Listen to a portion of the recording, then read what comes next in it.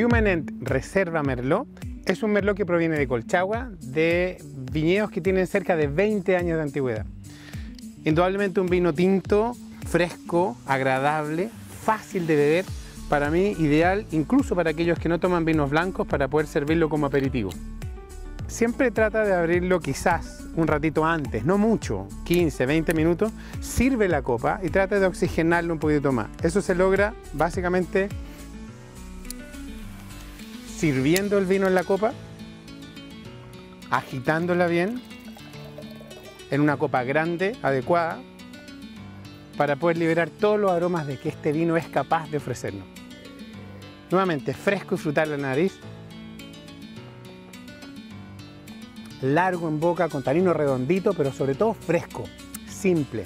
Recuerda cuidar la temperatura, que no pase de los 17 grados Celsius. Para eso toca la botella y siente la botella fresquita.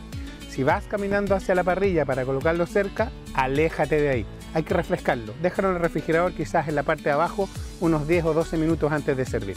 Ideal para acompañar platos en base a carnes magras de condimentación media y baja, como por ejemplo una lengua nogada o incluso una pasta rellena que puede ser con conejo y alguna salsa cremosa. Salud con Vinos View.